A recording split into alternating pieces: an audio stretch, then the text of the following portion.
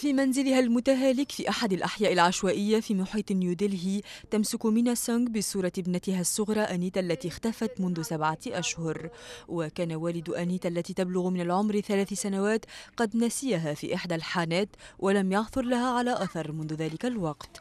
تشك مينا في أن صاحب الحانة قد باعها لمهربي الأطفال الذين قد يستغلونها في سوق الدعارة حين تكبر. لو كانت طفلة ابنة رجل غني لكانوا وجدوها في أربعة أيام. هذا يحدث لنا لأننا فقراء نعمل بجهد شاق لنأكل وجبتين في اليوم. لهذا السبب لم يستمع أحد إلينا. عائلة أنيتا ليست وحدها التي تعيش هذا الأسى تقدر السلطات عدد الأطفال الذين اختفوا في نيودلهي ب 2500 طفل خلال عام 2008 النسبة الأعلى خلال السنوات الأخيرة.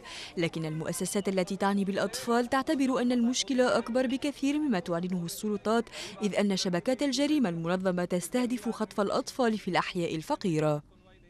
In India, ملايين الأطفال يهربون في الهند إلى أسواق العمل بالقوة سواء عمالة العبودية أو الأطفال. في كل هذه الحالات لا يعرف الأهالي مصير أولادهم. العائلات الهندية اتهمت الشرطة بتجاهل الأرقام الكبيرة لأعداد الأطفال المختفين فقط لأنهم أبناء عائلة فقيرة. لكن السلطات تنفي هذه الإدعاءات وتقول أنه لا يوجد دليل على أن هناك عملية اختطاف منظمة للأطفال. أنا أقول لك أننا عثرنا على أكثر من 95% من الأطفال المختفين خلال أيام أو ساعات معدودة.